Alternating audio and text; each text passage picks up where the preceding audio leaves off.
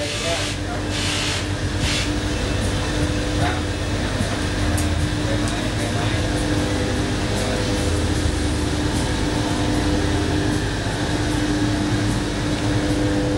เดี๋ยวก็ฝังตามนี้ใช่ไหมครับผมหนึ่งเมตรสองเมตรสามเมตรอืมเออตรงนี้ก็คือเหมือนกับเริ่มเริ่มประมาณตรงนี้อะ ครับผม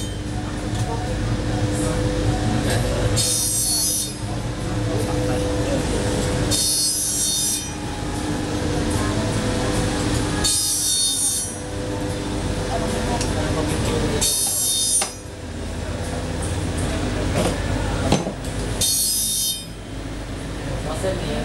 ถ้าเส้นนี้ก็คือลายอยู่แล้ว